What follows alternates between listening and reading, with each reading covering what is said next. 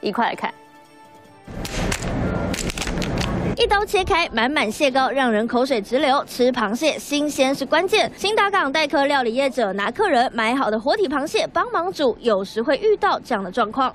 讲的买的也是几只钱啊，要来阮推，阮会甲你讲。有当遐人家讲啊，我得掠三只，啊你吞两只，哦，伊看对三买，啊咱就在干嘛？哦。不多了，我多我来收回啊。最怕的就是买到品质不好的海鲜。至于螃蟹怎么挑，有学问。刚刚伊的胸部这里啊，等下那嫩嫩哈，软软的，这代表伊无渣吧。秋季才有的花脚蟹，手感触碰蟹壳中央就能知道有没有肉。另外，民众最爱吃的蟹膏蟹卵，看它的旁边，也有看得到它的蛋。